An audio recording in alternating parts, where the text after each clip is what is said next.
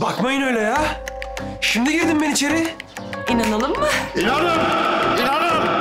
O neydi kız?